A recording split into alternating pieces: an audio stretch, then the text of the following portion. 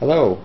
This tutorial uh, will walk you through how to caption content using Automatic Sync's Caption Sync service through your Echo 360 system. Captioning your Echo is actually a very simple process.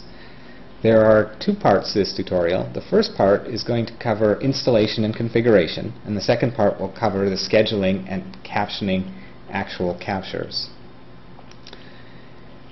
Generally, the configuration and installation process needs to be done only once, and then you can forget about it.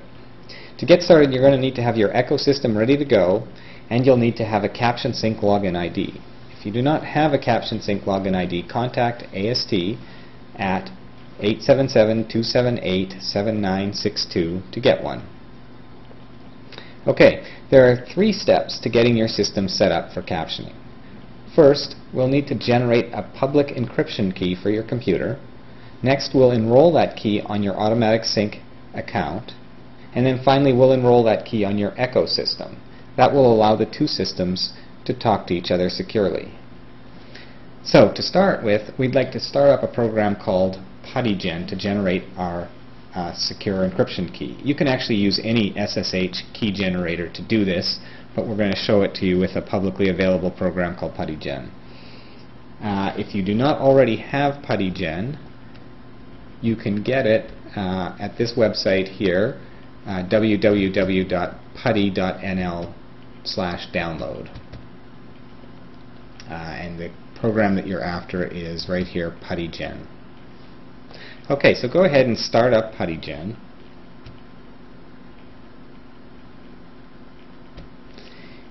Now, uh, this will allow you to generate the key. Um, first of all, in the parameters section, make sure you select SSH2 RSA as the key type and set the number of bits to be 1024. Then just click the Generate button and move the mouse around the window like it asks you to.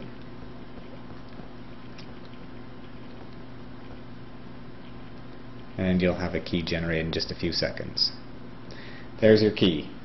Now, uh, there's two parts to the key that get generated, a public part that we're going to enroll on the AST site, and a private part that we're going to give to your Echo system. The public part appears right up here in this window, so go ahead and highlight that whole thing, and click Control C to grab that. Okay, now we're going to log into your Automatic Sync uh, Caption Sync account. So go to the AST web page. Here's the AST home page, and just click the Login button in the upper right-hand corner, and log into your account. So this is whatever uh, login ID that was given to you by AST. We're going to use this account.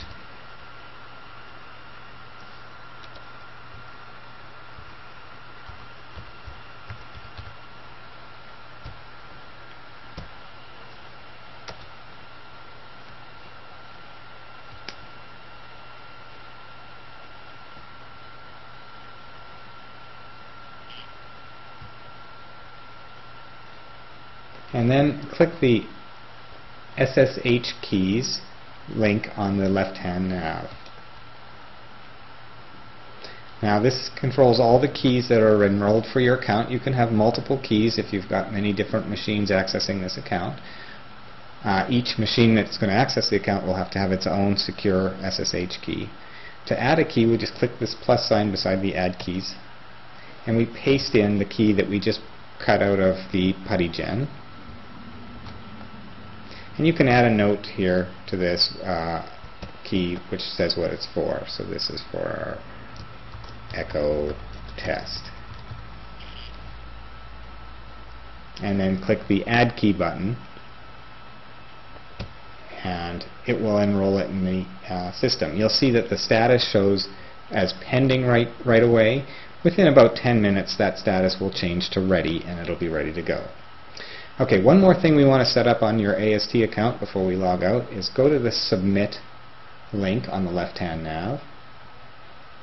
Choose the application type of web. If you have multiple application types available, make sure you choose web because the Echo system is considered a web application type. And then click the Advanced Settings button. Here you can set up the uh, defaults for uh, a variety of different uh, characteristics of what you want your captions to look like, but the key one that we want to pay attention to is you want to make sure that your chosen output includes the Apreso XML file. So if it's not already on the left-hand side, find it in this list on the right-hand side and move it over to the left so that it's one of the chosen outputs. Then click the Save as Default and click the Apply Changes button. This will make sure that the Apreso output is getting sent back to your Echo system uh, for each job that gets submitted. Once you've done that, you can log out of your AST account. Okay, so now with that done, let's go to your Echo system and log into it. Log into your Echo system server. Okay, now click the Configuration tab and then the Publishing tab. Okay, well we're going to add a new publisher and we're going to choose a type of closed captioning and transcript. Okay, and we're going to give this a name. And you can name it whatever you need it to be, but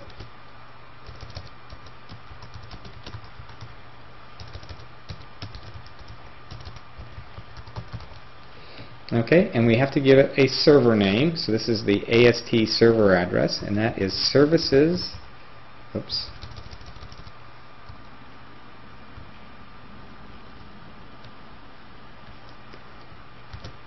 uh, services.automaticsync.com and the account name is your AST user ID okay again that's the ID that we're using here and now to get the private key let's go back to PuttyGen. and now we need the private portion of this we go to conversions to begin with and we say um, export an open SSH key and go ahead and acknowledge that you don't have a passphrase on it. You don't want a passphrase. Okay, and we're just going to save this on the desktop in our test key.